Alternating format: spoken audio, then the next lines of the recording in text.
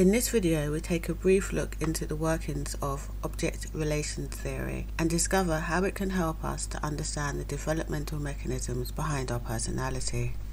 Melanie Klein, an Austrian born psychoanalyst, was the originator of object relations theory. She developed this based on her clinical work with children and adults and her observations of early parent child relationships. Her theories, which were considered controversial at the time, differed from that of Freud's and brought forth new perspectives on child development. Freud focused on innate drives and intrapsychic conflicts. Freud proposed that child development occurs in a series of psychosexual stages oral, anal, phallic, and latent, as well as the genital stages. Each stage is characterized by the focus of libidinal or sexual energy on different erogenous zones of the body. On the other hand, Klein believed that the early interactions between infants and their caregivers profoundly shape their internal world and lay the foundation for future emotional development and relationships. In a nutshell, object relations refers to the way individuals perceive and relate to other people during their early development, especially significant others like their primary caregiver. She introduced the concept of internalized objects, which reside within the individual psyche and influence their emotions and behaviors. These objects are mental representations of important people in an individual's life, in particular their primary caregiver. These representations can also include parts of a person or objects from one's inner world.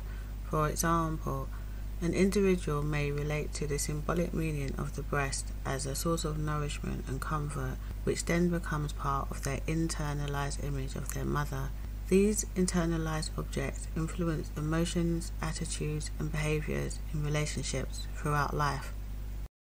The internalized representations or mental images that the infant experiences in relation to their primary caregiver fall into two main categories good objects and bad objects.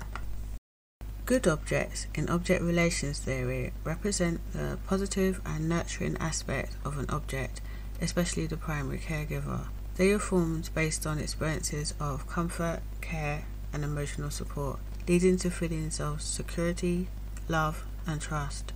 Good objects serve as sources of comfort and emotional nourishment, contributing to the individual's well being and positive attachment experiences. Bad objects, on the other hand, symbolize the negative and threatening aspects of significant others or the primary caregiver. They arise from experiences of frustration, neglect, or perceived harm from the caregiver, leading to feelings of anxiety, fear, and disappointment. Within the infant's mind, the same object can be represented as a good object and a bad object. For example, when the mother's breasts are full and baby is getting nourished, mother may be perceived as a good object. But when the mother's breast is empty and the baby is left feeling hungry or dissatisfied, mother may be perceived as being a bad object. In object relations theory, the process of a child's relation to good objects and bad objects in early infancy is described through two main positions the paranoid schizoid position and the depressive position. These positions represent different stages of emotional development and how infants perceive and relate to the world and their primary caregiver. During the paranoid schizoid position, infants in this stage are primarily driven by primitive emotions and impulses. They experience the world in a fragmented manner with a tendency to see others as either all good or all bad. The paranoid aspect refers to the baby's fear of being attacked or overwhelmed by hostile internal and external forces. The schizoid aspect relates to the split off and disconnected nature of the infant's experiences. There are five key characteristics of the paranoid schizoid position. The dominant defense mechanism during this stage is splitting, where the infant experiences the world in a fragmented and polarized manner. They tend to split their experiences into good and bad without integrating both aspects. This splitting also applies to their perception of their primary caregiver, whom they may see as either entirely loving and nurturing, like with the good breast or the good mother, or entirely harmful and withholding, like the bad breast or the bad mother. Another characteristic feature is primitive anxiety. In this position, the infant may experience anxieties and paranoia related to the fear of being harmed, attacked, or overwhelmed by the bad objects or caregivers. They may also experience fear of annihilation, leading to a basic need for survival and protection.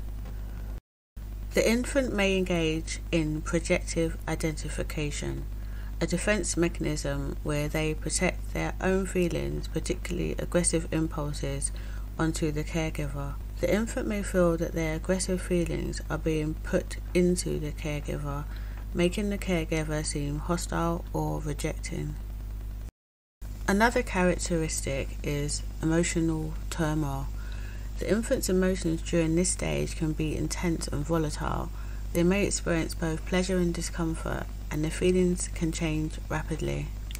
Finally, at this early stage of development, the infant's sense of self is not yet fully formed. They experience themselves and the world as fragmented and undifferentiated. There are four key characteristics that occur during the depressive position, which occurs from six months onwards in the infant's life. As the infant emotional development progresses, they move into the phase of integration. During this stage, the infant begins to integrate the good and bad aspects of their experiences with their caregiver, leading to a more complex and realistic understanding of relationships. So instead of seeing the mother as all good or all bad, the infant is able to see that the mother is a mixture of both good and bad components. Another key aspect of the depressive position is that the infant starts to develop a sense of guilt and concern for the well being of their primary caregiver. The infant may feel remorse for their aggressive impulses, for example, having angry feelings towards their caregiver, and they may also start to fear losing their love and care as a consequence of them having showed angry and aggressive impulses towards their primary caregiver. The infants may also experience ambivalence. The depressive position involves a mix of both positive and negative feelings towards the caregiver. The infant experiences a more nuanced and layered view of their caregivers as they integrate both loving and angry feelings.